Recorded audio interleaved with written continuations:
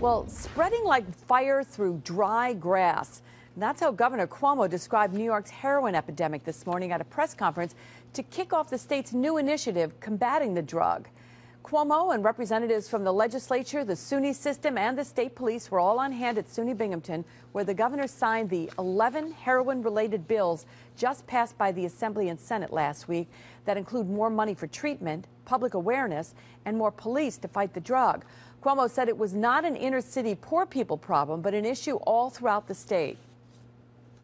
New York State has a terrible problem with heroin. And it's not that it's just a national problem, it is a New York specific problem. One third of all the heroin in the United States that was seized last year by the DEA was seized in the state of New York. Number of deaths since 2010 has doubled.